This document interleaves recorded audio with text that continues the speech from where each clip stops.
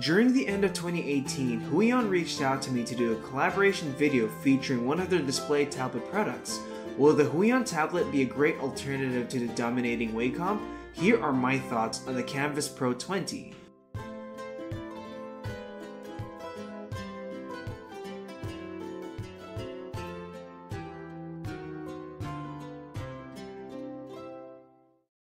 Now, for those who don't know what a Huion is, it is a graphics tablet company based in Shenzhen, China. However, the company has grown drastically since 2000, being regarded as a key player in the graphics and display tablet market. I personally know of the brand through my sister Tintin Pantoja, who switched from the Wacom to the Huion because of its flexible support and accessibility in the Philippines. Ever since I've heard of Huion, more people have been using their products over the Wacom, coming from Asia, Europe, and especially America. Why? Well, aside from having more access to Asian territories, it's also affordable as hell. Now, I've never really made any hardware review and impressions video yet, since I've never had the opportunity to do those. However, I will try to be as clear, as critical, and informative about the product. So let's get something out of the way. The way I'll be approaching this sort of impressions and review video is that I'm going to relate to the type of work that I do. The type of work that I do is, of course, animation and video production.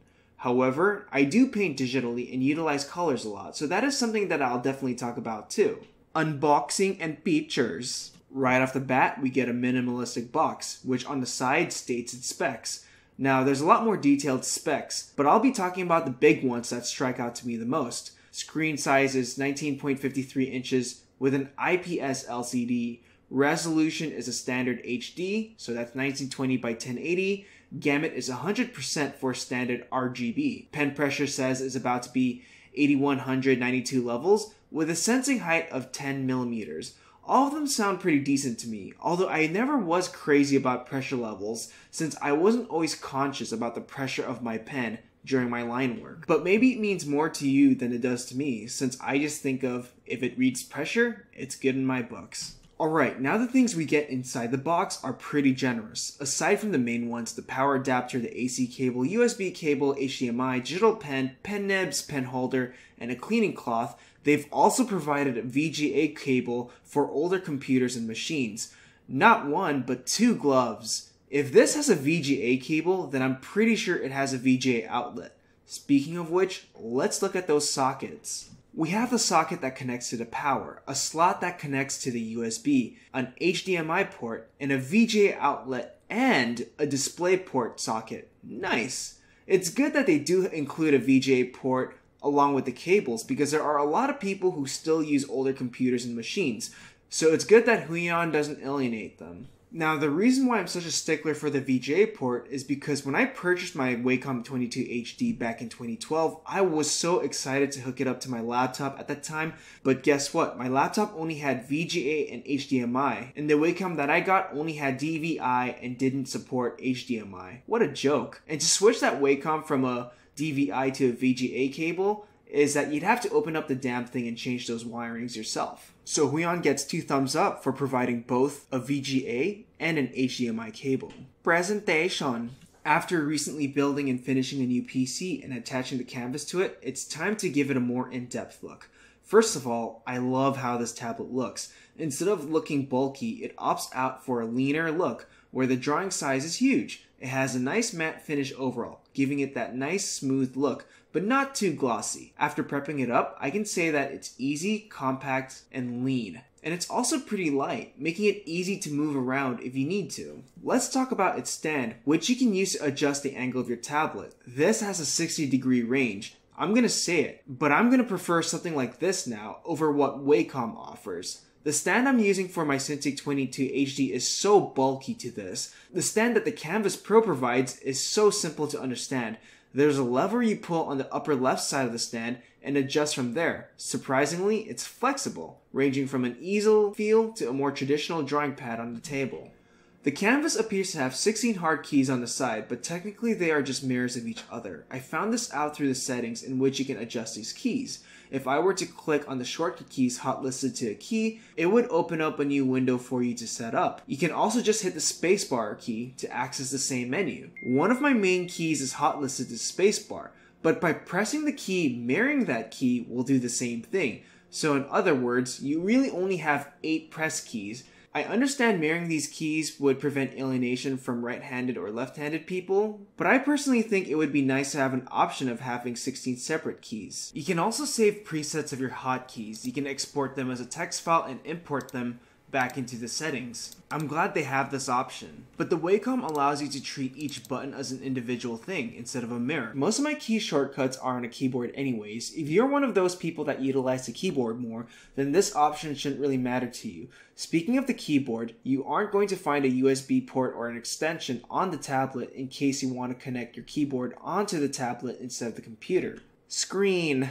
Let's talk about the LCD screen. If you guys are concerned about having glare on your screen, fear not. Huion uses an anti-glare screen that prevents glaring from happening. So far, this is a very big plus. Now, does that mean the screen is free from criticism itself? Well, let's talk about how color and contrast is presented on the screen, because this is something I want to point out that I noticed while using it. The colors and contrast seem a bit washed out, something that's way more noticeable when seen in different angles. If you're dealing with a lot of specific color, color, this can be a huge deal because in some cases, its standard setting might make the colors feel too dull. Luckily, their menus offer contrast, brightness, uh, control, color temperature settings, and presets to remedy this.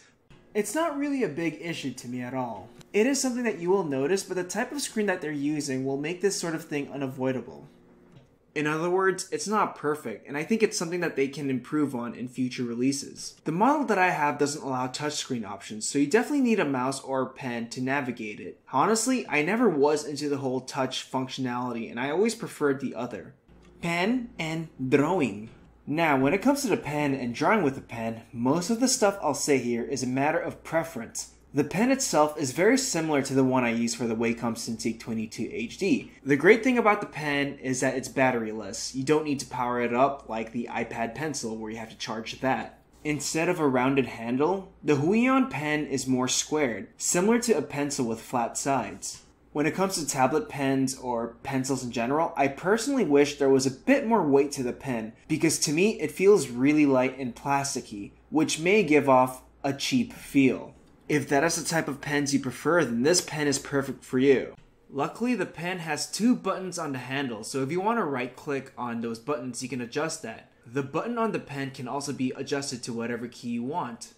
Now, I want to talk about drawing on the screen because it does feel a bit more rough, there's a bit more texture, and there's a threshold to it. At times, it feels like you're drawing on paper, but it may come off as scratchy. But over time, I think the screen or the pen smoothens out, but if you want it smooth immediately, get a moist wipe and wipe all over the screen. You should have something that's a lot more smooth, similar to an iPad or Wacom brand. Drawing wise, you have a lot of control. You can draw soft and light, hard and heavy. It'll read it. Pressure levels aren't something I'm very precious about because I usually like to work rough and sketchy. But the amount of control the tablet gives you is already very good. There's a good read on the pressure sensitivity. Price. Like I said earlier, Huion products are known for offering quality and competent hardware. A brand new Kamvas Pro 20 would normally cost 600 US dollars. For what I've seen so far and what it has to offer, this is an amazing deal. Just to give you guys a bit of scope, the Cintiq 22 HD that I normally use is going for about $1,700 on the Wacom website. If I knew about Huion products back in 2012, I would have easily gotten this as a student since it already supported my VGA laptop at the time. Recap. First of all, let me sum up the positives. The big positive, of course, for me is the value for the buck. Not only do you get a functional, stable, and an able tablet, you also get gloves, pen nibs, a VGA cable, and an HDMI cable. It's a good price for what it has to offer. It's a solid piece of hardware, feeling incredibly sturdy yet easy to lift around. Adjusting the angles is a breeze. Its sleek look and a huge screen eliminates that bulky look. As I showed earlier, the pressure sensitivity works fine if that's a huge thing for you. Drawing on it is something that I started to like over time, since the threshold makes things feel more like paper. The biggest criticism I have for this tablet is the IPS LCD monitor they are using, as it doesn't present contrast and colors in the best light. The push keys on the sides could have been better utilized instead of being simply mirrored. Maybe if Huion gave the customers more uh, customization on these buttons, it would strengthen the product. This also leads to my next point. Maybe be able to set hotkeys depending on what software is open, like Wacom does. The pen is also a bit too weightless for me in my opinion, and may need time to get used to. Final thoughts. So how do I feel about the Huion Kamvas Pro 20? Affordable, simple, solid, and easy to handle, it's a pretty decent display tablet. It's not just a nice alternative to the Wacom, I think it's a good device in general. Knowing myself and knowing how my relationship would be with this tablet, the pros can easily outweigh the cons, and those things can be worked on over. Need to see if your colors are right and tight? Have another monitor where you can drag your work onto it, dummy. No USB slot so you can use a keyboard on it? Get one of those portable additional USB slots to make room for that. I would highly recommend it to students and independent artists looking for something that's affordable yet competent, and that can serve them in the professional world as well. So those are my thoughts on the Huion Kamvas Pro 20. It's affordable and works just as fine. I'm really happy and thankful to see what the guys at Huion are doing with their products. And I think it's great that they're making tablets more accessible to the masses. And I'm talking about full-scale display tablets, something that's already a norm in the American animation industry. So I hope you enjoyed this little review and impressions video. Hopefully this encourages you to support Huion or buy their products, but if not, well you know what's good for you. If you like videos like this, feel free to subscribe to my channel. Interested in learning hand-drawn animation or learning how to finish an animated shot from beginning to end?